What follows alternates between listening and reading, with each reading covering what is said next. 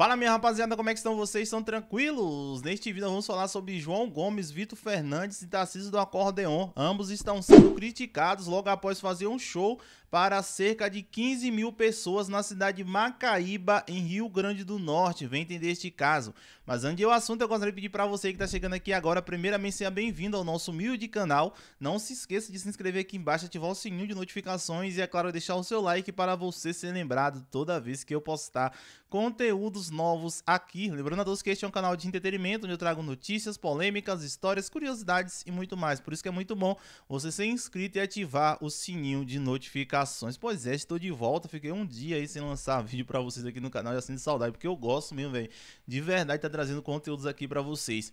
Hoje nós vamos falar sobre João Gomes e Vitor Fernandes Assis do Acordeon, onde eles estão sendo criticados pelo site Metrópolis, logo após fazer um show para cerca de 15 mil pessoas na cidade de Macaíba, em Rio Grande do Norte. Antes mesmo de um assunto e vocês comentarem aqui embaixo, eu gostaria de deixar uma coisa bem clara aqui para todos vocês. Saíram algumas informações em vários sites recentemente que lá em Rio Grande do Norte já liberou os eventos para 100% do público, ou seja, Vitor Fernandes, Tarcísio do Acordeon e João Gomes não estavam fazendo nada ilegal. E no dia 7 de setembro aí tinha milhões de pessoas na rua. Enfim, eu vou ler um pouco aqui da matéria que saiu lá no site do Metrópolis para depois eu dar minha opinião sobre esse caso, porque eu acho isso aí muito desnecessário e acho sim que é dor de cotovelo de várias pessoas porque o piseiro está em alta. E aqui fala assim: João Gomes, Tarcísio do Acordeon e Vitor Vitor Fernandes reúnem 15 mil em show.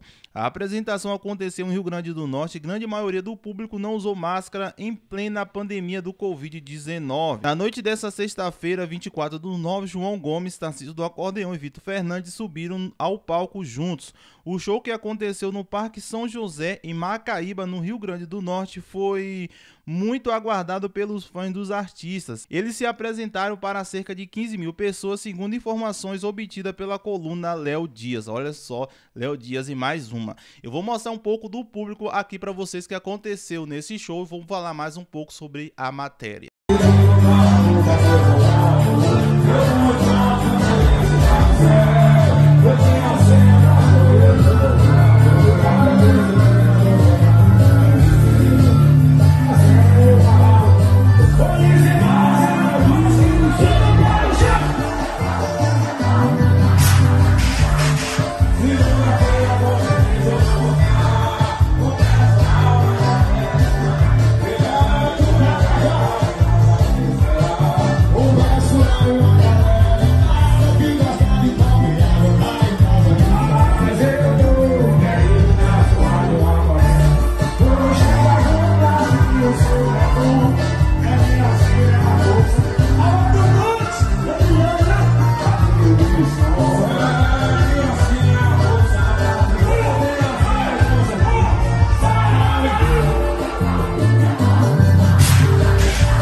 Pois é, rapaziada. E continuando aqui, a matéria fala assim: o que causa estranheza é como eles poderiam reunir tanta gente em um só lugar em plena pandemia do Covid-19 que ainda assola o mundo e resiste diariamente casos de morte lá fora e aqui no Brasil.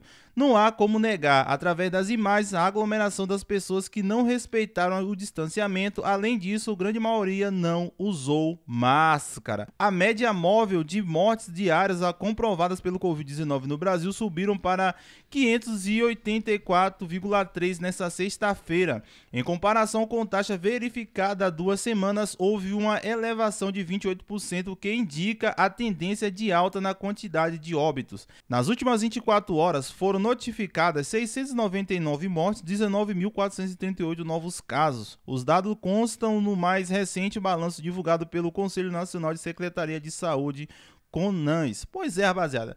E aqui a coluna Léo Dias, eu é do Metrópolis, eu não sei, foi lá e falaram mais alguma coisa. O que nós sabemos é que esse Metrópolis tem um alcance gigantesco. Inclusive, João Gomes recentemente deu até uma entrevista aí para Léo Dias é, no canal aqui do Metrópolis. E como vocês viram aí, ele destacando que não sabe como foi que eles conseguiram é, fazer esse show de gigantesco para 15 mil pessoas, onde está, onde está tendo vários casos ainda de Covid-19 pelo Brasil. O que essa coluna aqui esqueceu de pesquisar é se lá em Rio Grande do Norte estava liberada ou não para os cantores fazer o seu evento. Vale a pena ressaltar que os caras são convidados e eles são trabalhadores como qualquer outra pessoa. Eu mesmo, particularmente, sendo um cantor e o pagante me chamasse e lá o estado tivesse liberado, claro que eu iria fazer esse show. Será que fosse outro artista de nível nacional? Será que ia ter essa repercussão toda? Ou será que é dor de cotovelo por, por um tecladinho estar levando multidões à loucura? Vale a pena ressaltar que nesse mesmo show aí, Vitor Fernandes e João Gomes e Tarcísio do Acordeon se abraçaram e foi uma das imagens que chamou a atenção no último fim de semana, como eu postei aqui na comunidade do YouTube. Mas mas enfim, rapaziada, qual a sua opinião aí sobre essa matéria? Vocês acham que o artista tem alguma culpa de estar fazendo esse show? Sim ou não? Deixe aqui embaixo nos comentários, pois o seu comentário ele é muito importante. Dando a minha opinião, dando ênfase aí pra minha opinião, eu acho que o artista ali ele só é contratado se eu for contratado também. Se alguém quiser contratar Emerson Isla aí para fazer um show, me contrate que eu vou fazer. Olha que eu não sou cantor, eu posso falar um monte de coisa. A gente fala de polêmica aí e eu vou fazer esse show de boa, tá? Brincadeira.